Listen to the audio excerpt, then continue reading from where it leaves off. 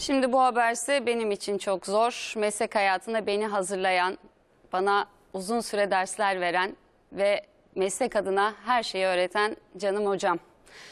Eurovision şarkı yarışmasındaki sunumuyla hafızalarımıza kazındı.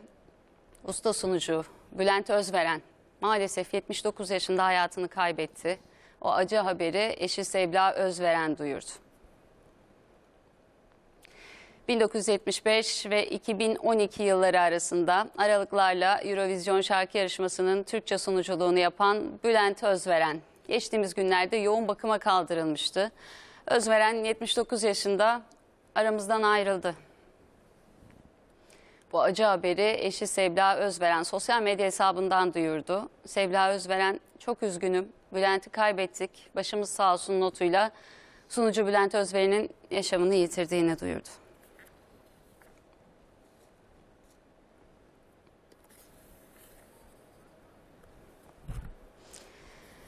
Meslek adına çok büyük üstadlardan bir tanesiydi.